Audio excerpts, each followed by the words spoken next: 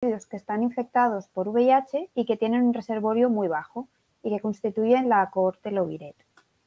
Como ya sabéis, cuando una persona se infecta con VIH se ve un aumento de carga viral eh, muy brusco acompañado de una disminución de los linfocitos CD4 y esto llega a, cierta estabilización en la fase crónica de la infección, pero en ningún caso el sistema inmunitario es capaz de controlar completamente la infección.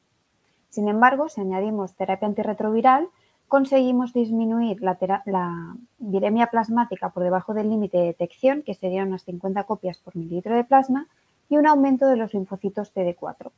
Pero si por cualquier motivo se interrumpe esta terapia antirretroviral, lo que veremos será un nuevo rebrote de la viremia plasmática acompañada de una disminución de los linfocitos CD4.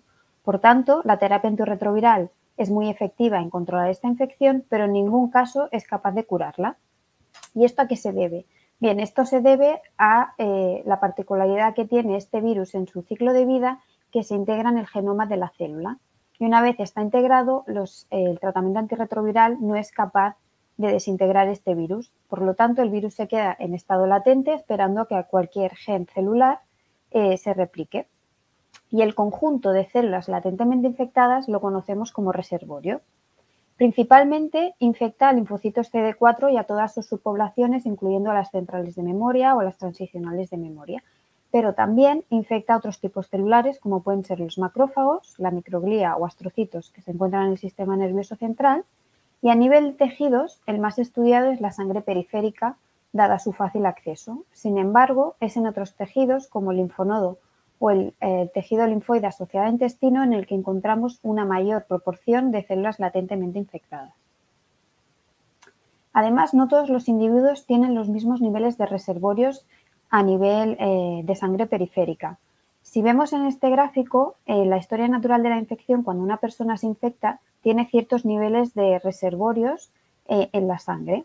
Sin embargo, cuando se instaura la terapia antirretroviral, vemos que este reservorio baja dado a que ya no hay una replicación activa y se alcanzarán niveles más bajos o más altos en función de cuándo se inicie esta terapia antirretroviral. Es decir, si una persona inicia la terapia antirretroviral antes, conseguirá niveles más inferiores de estos reservorios. Sin embargo, si se inician más tarde, eh, no llegarán a disminuir tantos estos reservorios. Además, se conoce que hay un grupo de pacientes que son capaces de controlar la infección en ausencia de tratamiento, ya sea de forma natural, lo que se conoce como lead controles, o después de un periodo bajo tratamiento antirretroviral en el que son capaces, una vez dejado este tratamiento, controlar la infección por largos periodos de tiempo, lo que se conoce como post-treatment controles.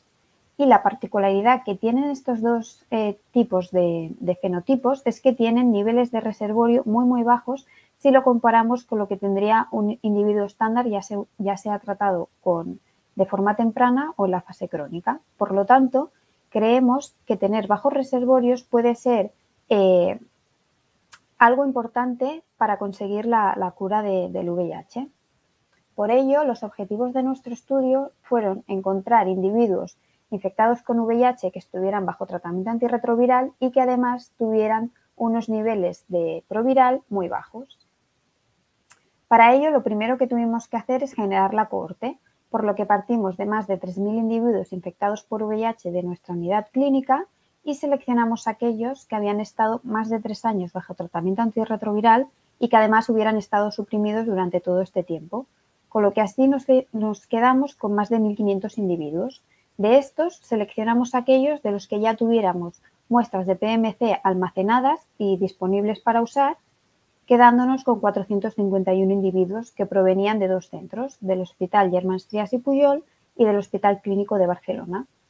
En estos 451 individuos lo que hicimos fue medir el DNA total asociado a células mediante la técnica Droplet Digital PCR. Y los resultados que obtuvimos fueron estos. Aquí podemos ver la distribución del DNA total a lo largo de todos los pacientes y vemos que sigue una distribución normal y que la mediana se sitúa en 159 copias eh, de VIH por millón de PMCs.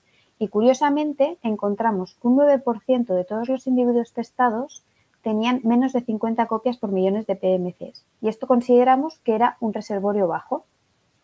y llamamos a estos individuos Loviret de las siglas en inglés Low Viral Reservoir Treated.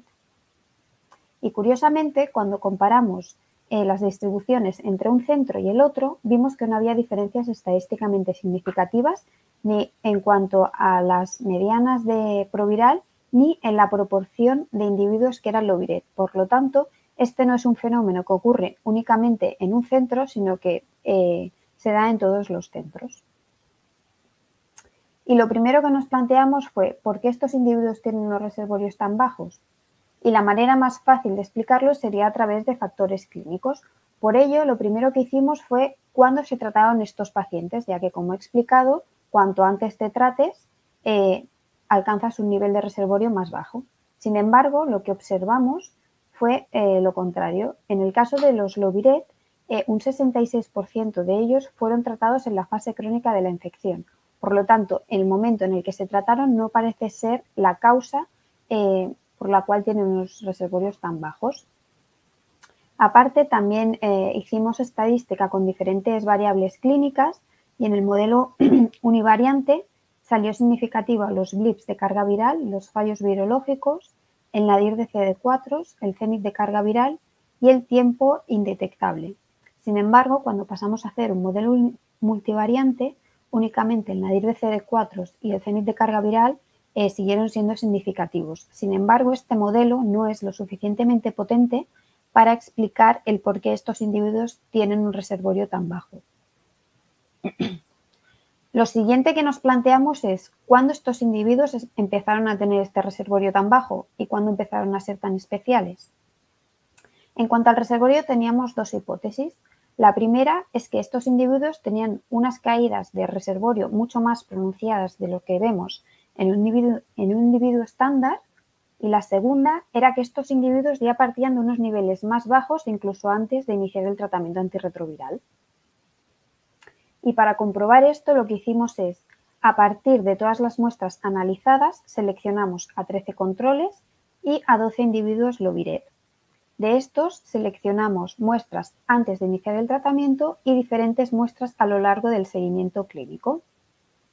Y en este caso seleccionamos únicamente aquellos individuos, tanto controles como Loviret, que sabíamos que se habían tratado en la fase crónica de la infección.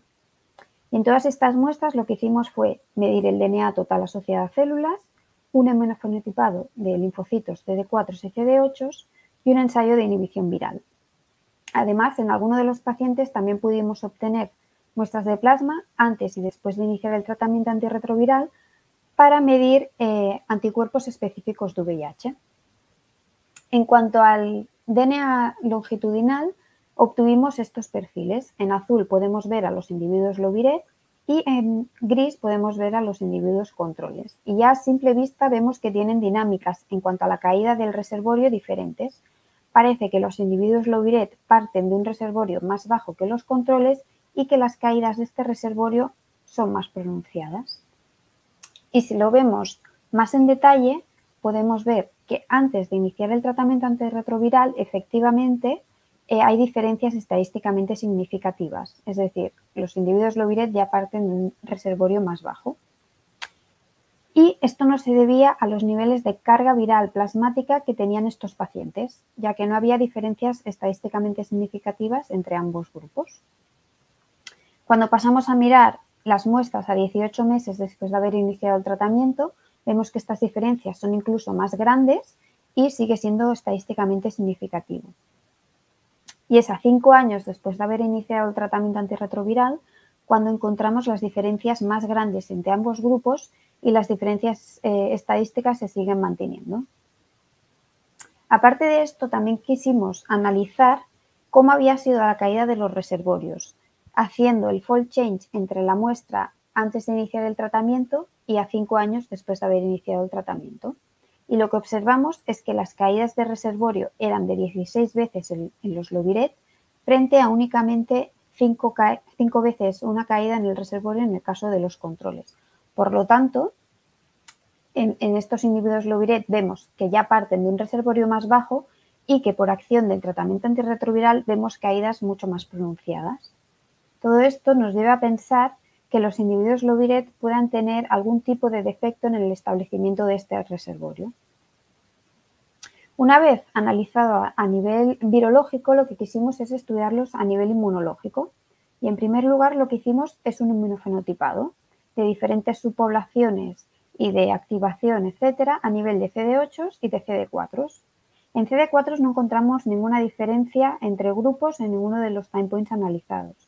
Sin embargo, en CD8 sí que encontramos eh, algunas diferencias. Por ejemplo, en las células naive eh, encontramos que los individuos Loviret tienen proporciones más altas de estas células y que esto es, eh, alcanza la, la significación a 18 meses después de haber iniciado el tratamiento. También observamos que los individuos Loviret tienen una menor proporción de células transicionales de memoria y de TEMRA y que esto es significativo antes del inicio del tratamiento para las células transicionales de memoria y para las TEMRA es antes del inicio del tratamiento y también se sigue manteniendo a 18 meses después de haber iniciado el tratamiento. Por lo tanto, parece que los individuos Loviret tengan un compartimento de células CD8 que esté un poquito menos dañado y que se asemejaría a lo que tendría un individuo no infectado. Al ver esto, quisimos saber si las respuestas eran también más potentes. Para hacer esto, en primer lugar, hicimos un ensayo de susceptibilidad de los propios linfocitos CD4 del paciente. Es decir, cogimos los linfocitos CD4 de controles y de Loviret y los infectamos con virus de laboratorio. Esperamos siete días y medimos en sobrenadante el P24. Y lo que observamos es que tanto los linfocitos eh, de los individuos controles como de los Loviret eran capaces de infectarse de igual manera, ya que no vimos eh, diferencias estadísticamente significativas. Después, lo que hicimos fue añadir en cocultivo linfocitos CD8 en una ratio 1-1 y en este caso los linfocitos CD8 de los individuos Loviret no fueron capaces de inhibir eh, la infección de los linfocitos CD4 en mayor medida de lo que se infecta, eh, de lo que inhibe los linfocitos CD8 de los individuos controles. Y pasó lo mismo al añadir en cocultivo eh, células NK. Por lo tanto, no parece que los individuos Loviret tengan un sistema inmune específico de VIH que sea más potente de lo que encontramos en un individuo control. También quisimos estudiarlo a nivel humoral. En este caso, en primer lugar, cuantificamos eh, los niveles de anticuerpos VIH específicos con una técnica que se conoce como vitros y medimos antes y después de iniciar el tratamiento antirretroviral. Tanto en controles como en Lovirets vemos una caída por acción del tratamiento antirretroviral. Sin embargo, los individuos Loviret, a cinco años después de haber iniciado el tratamiento, alcanzan niveles más bajos de anticuerpos VIH específicos. Y por otro lado, también analizamos la avidez de estos anticuerpos frente a sus antígenos y lo que observamos es en que los individuos controles no disminuye la avidez de estos anticuerpos por sus antígenos, sin embargo, en los individuos Loviret, casi todos ellos disminuye la avidez eh, muchísimo, alcanzando otra vez eh, niveles más, alcanzando niveles más bajos cinco años después de haber iniciado el tratamiento antirretroviral. Una vez estudiado todo esto, lo que quisimos es profundizar un poco más en estos pacientes. Y para ello necesitábamos eh, nuevas muestras, ya que en los anteriores estudios habíamos utilizado muestras retrospectivas. Por ello, volvimos a llamar a los pacientes y volvimos a coger eh, sangre. Y en este caso reclutamos a 22 controles y 22 lovirets y en ellos volvimos a medir el DNA total asociado a células para comprobar que seguían, correspondiente a su, seguían correspondiendo a su categoría. Y en este caso también eh, analizamos la expresión de VIH, tanto a nivel celular por el Cell Associated HIV RNA como a nivel plasmático mediante la carga viral ultrasensible. Y también medimos cómo de intactos eran estos provirus mediante la técnica conocida como IPDA. Después, en una proporción de los individuos Loviret, lo que hicimos fue hacer una leucoaféresis para tener un gran número de células con el que poder hacer eh, un ensayo de replicación viral y saber cómo, si son eh, replicativamente competentes o no los virus de estos individuos mediante la técnica de cultivo cuboa y también quisimos ver cómo se distribuyen estos provirus a lo largo de las diferentes subpoblaciones de linfocitos CD4. Después, en, un subgrupo de individuos en los que no fuimos capaces de detectar virus replicativamente competentes, lo que, quisimos es profundizar a nivel de tejidos anatómicos y por ello eh, recolectamos biopsias rectales y tejido del linfonodo para medir también el DNA en estos tejidos. Pasando a la primera parte, en cuanto a la expresión del VIH, lo que observamos es que tanto a nivel celular como a nivel plasmático los individuos Loviret presentan una menor expresión de VIH, es decir, tienen menores provirus y además estos provirus se expresan menos. Y en este caso no lo he comentado, pero en este estudio incluimos tanto a pacientes tratados en la fase temprana como en la fase crónica y comprobamos que tanto a nivel de DNA como de expresión de VIH no se encontraban diferencias en estos parámetros. Por lo tanto, descartamos que el tiempo en el que se inició el tratamiento sea eh, motivo de tener un mayor o menor reservorio. Después también miramos cómo de intactos estaban estos provirus mediante la IPDA. En cuanto a, la bueno, en cuanto a los niveles de provirus intactos, lo que observamos es que los individuos Loviret en azul tenían un nivel de provirus intactos mucho menor a lo que tendrían eh, los controles y esto era estadísticamente significativo pero también tenían menos virus defectivos tanto en 5' como en 3'. Y si hacemos el porcentaje de provirus intactos respecto al total de provirus, lo que observamos es que no había diferencias entre Lovirets y controles. Por lo tanto, el observar aquí que tenían una menor cantidad de provirus intactos se debe a los pocos provirus que ya tienen de por sí y no a que los provirus que tengan sean más defectivos. Habiendo visto esto, que no parece que sus provirus sean más defectivos que lo que tiene un individuo estándar, lo que quisimos es ver si estos virus eran replicativamente competentes o no. Y esto lo hicimos a partir de las células obtenidas en la leucoaferesis mediante QA. Y lo que observamos es que la gran mayoría de individuos, no de individuos no tenían virus replicativamente competentes.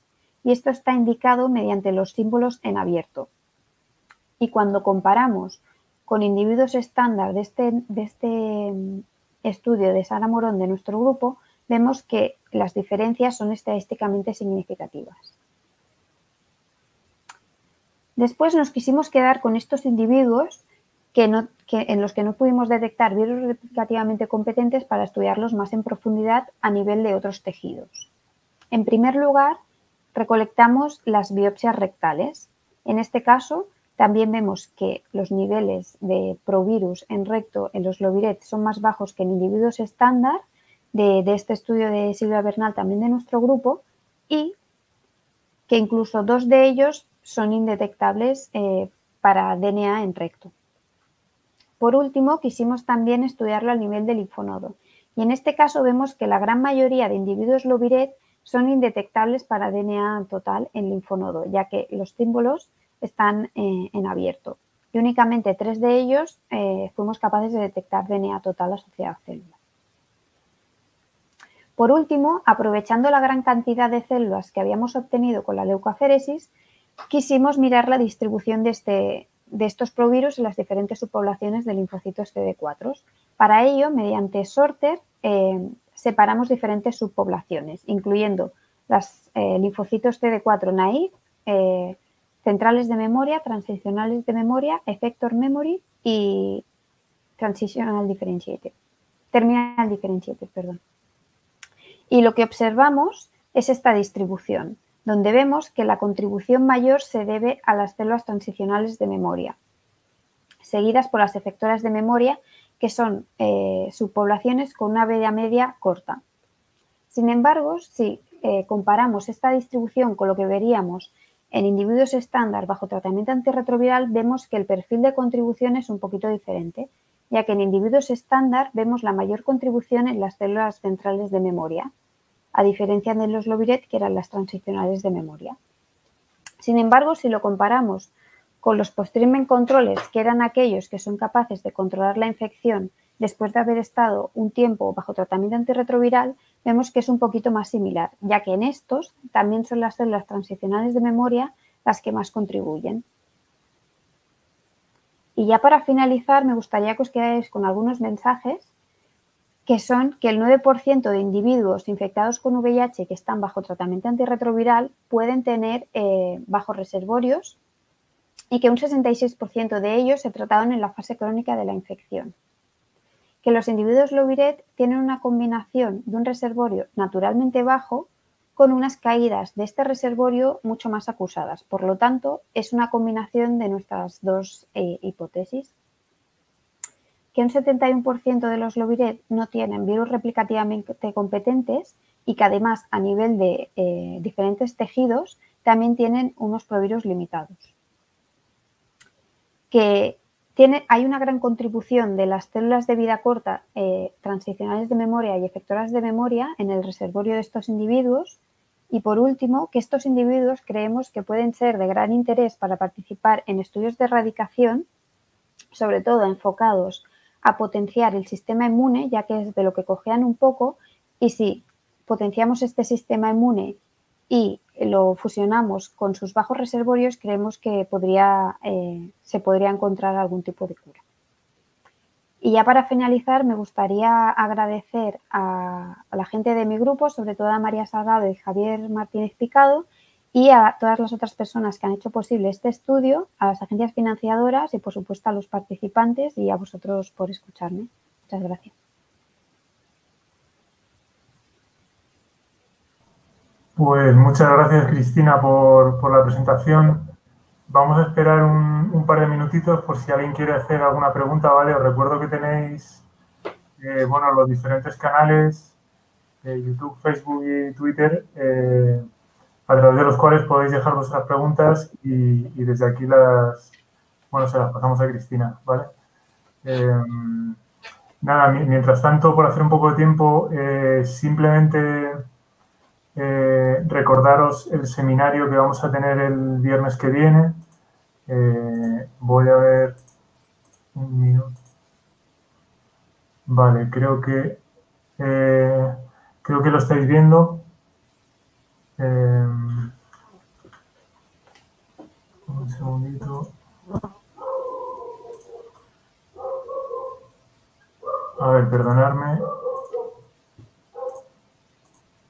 Bueno, no pasa nada. Eh, os lo digo directamente. Va a ser el compañero Javier Martínez de, la unidad de, enfermedades infecciosas del Hospital Ramón y Cajal, eh, que nos va a hablar del efecto de las diferentes terapias antirretrovirales en la recuperación inmunológica e inflamación crónica, ¿vale? Será el, viernes que viene en, el, próximo seminario. Recuerdo que van a ser todos los viernes de una y media a dos, desde este, este canal, desde, desde el que nos estéis viendo, Facebook, YouTube o Twitter.